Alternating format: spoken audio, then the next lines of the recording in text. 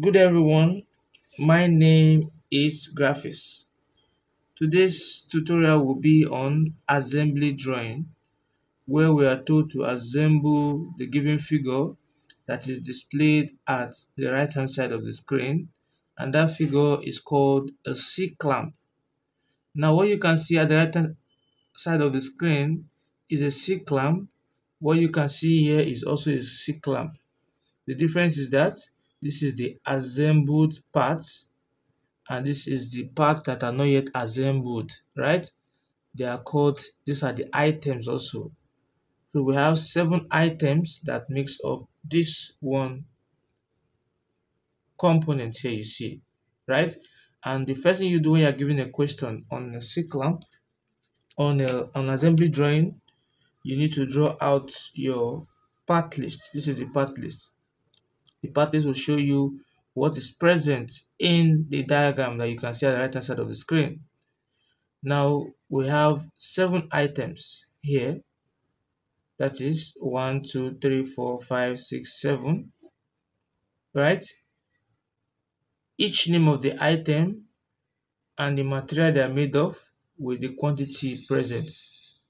Now, item one, which you can see my arrow pointing on the screen, is called the frame and this big thing you see here is what? Is a frame right? And this frame you're seeing here is made up of what? Of a cast iron right? And the amount of quantity here is just one of it present. There's no two as you can see on the diagram. Number two item two is the screw right and the screw is made up from what? Mild steel and only one is present. What's happening?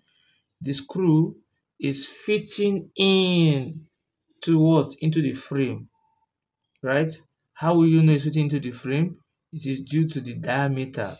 Because if you check closely diameter of the frame this part in the frame if you check the diagram very well is the same as the diameter of what? Of the screw that will tell you that what?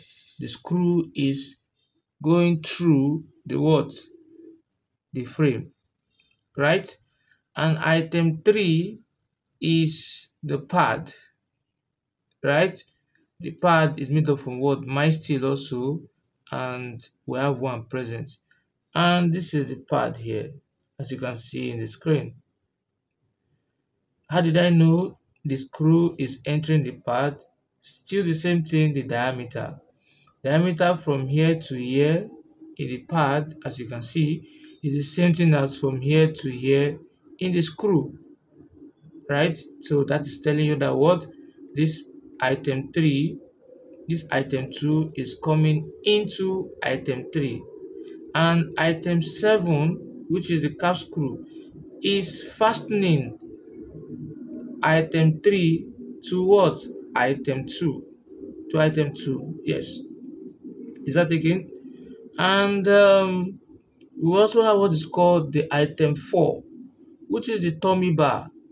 Now we know that we usually use a C clamp to grip two different components together in a bench vise right? Or in the workshop. Now this is a screw right? We see a square thread. and we know a screw involve revolution. What item 4, which is called the tommy bar, helps us in doing is to rotate what item 2. So when I rotate the tommy bar, which is item 4, what happened? Item 2 start rotating. Is that okay now? So it rotates it round. And we have the pin also so the pin ensures that this doesn't fall off. So when I place the pin here, no matter how this item fall will not what will not fall out. Is that okay now? And um, we have what is called so that's what we have here. We have item 6 also, which is called the pin, which I've called. We have item 5, which is the collar, and so on and so forth. So all these components now is what we fit in together to form this figure here, right? Now, thing you need to understand, you'll be surprised we are seeing section lines. Now, the section line is telling me that what we have sectioned it x x direction. We have sectioned it. So when you section it vertically downward, you are going to see this this be exposed. That is why the screw is exposed, and you know we don't section a screw, right? A fastener. That's why I section this and this, showing you the part this is going through. Similarly, here also I section it. That is why the cap screw is exposed, and this is exposed also. So that's why I section it. You don't section a screw. Also here too, section also. So that's why this item 4, which is the tommy bar, is also exposed, showing you that it's going through in here. Right? So this is what we have here. And this is one of the power or the advantage of assembly drawing. You get to know which one is fitting which by looking at the diameter of each of them. Start comparing. Now, how did I know the cap screw is entering into what? The pad.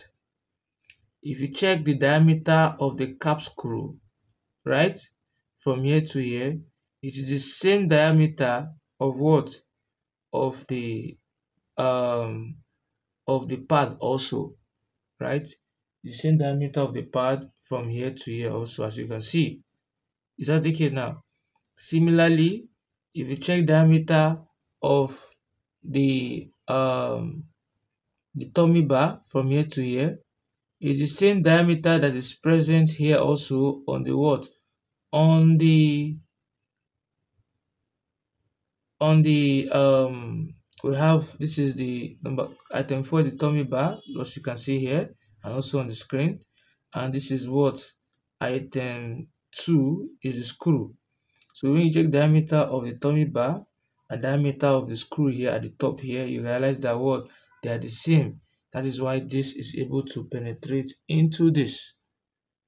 Is that taken and what else again do we have here? So this is uh, the, some of the most important thing that you have to know how you analyze this. So when you see a question like this, and if you want to know how to draw this step by step, right? You want to know how I did all this step by step. I bisection this in order to get all these curves here and how I section all this part here and what the diagram looks like before I sectioned it. Just click on the link at the top right corner of the screen or you wait at the end of the video and click on the end screen or you check the link in the comment section below or you check the description link below so if you have found this video helpful please don't forget to like subscribe and also share the video Thanks for watching.